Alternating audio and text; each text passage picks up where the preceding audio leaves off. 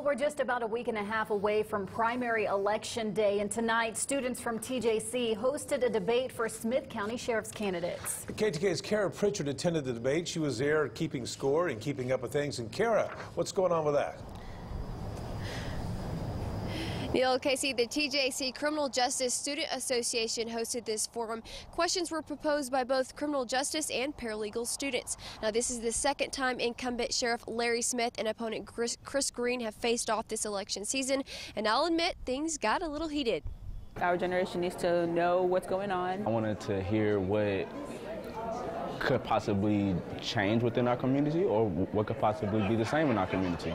Incumbent Sheriff Larry Smith says he relates to these criminal justice students. I remember when I was 18 years old and I sat down the road over at Kilgore Junior College in the criminal justice uh, uh, room, and I know how much I didn't know. You know, millennials are a little different.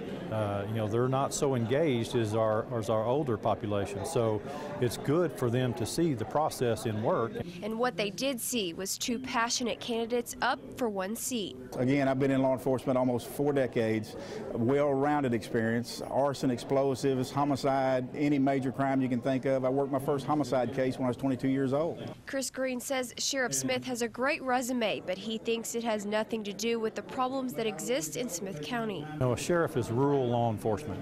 We, we don't have patrol anymore. We have officers chasing the radio from call to call to call.